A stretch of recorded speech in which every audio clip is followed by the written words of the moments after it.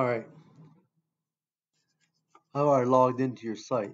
So what I'm going to do is I'm going to open up the dashboard in another tab.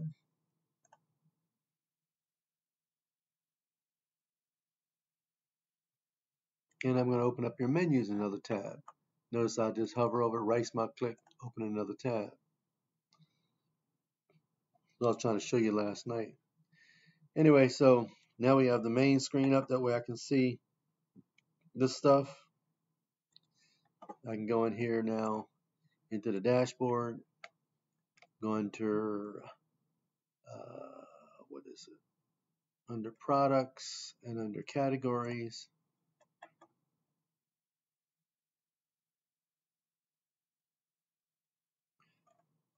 We're trying to make a subcategory underneath this uh, triggered baits.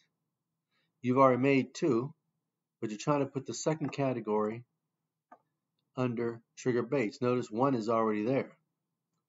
All right, so we go back here. We need to see the actual URL, which is under here. You notice over here on the left, you can see when you hover over it on the left hand screen, you can see it shows the uh, URL down there. So what I'm going to do is first, I'm going to copy this name,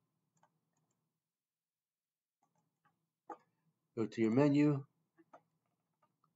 go to custom link, put in the name. That's the text value. Go back, see where it says view. I'm going to right mouse click and just copy that link address.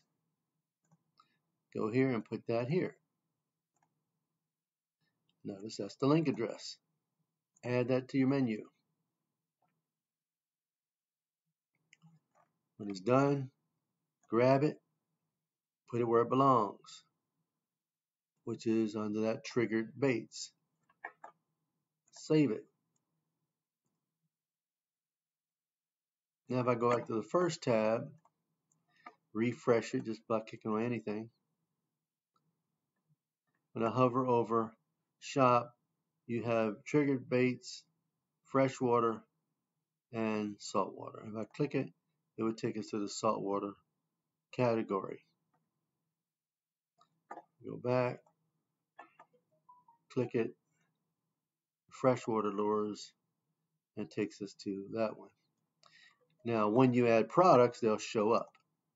That's all there is to it.